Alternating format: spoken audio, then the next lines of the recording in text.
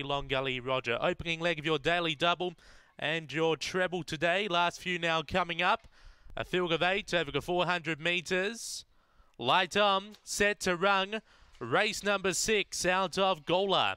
Set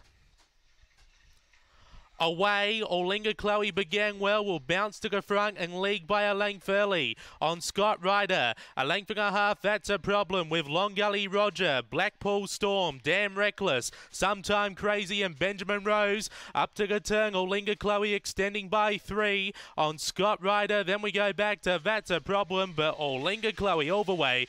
Beaks home Scott Ryder. Third will be That's a Problem. Now fourth was either Sometime Crazy, Long Gully Roger or Black Blackpool Storm. Then we go back to Damn Reckless and Benjamin Rose at the tail.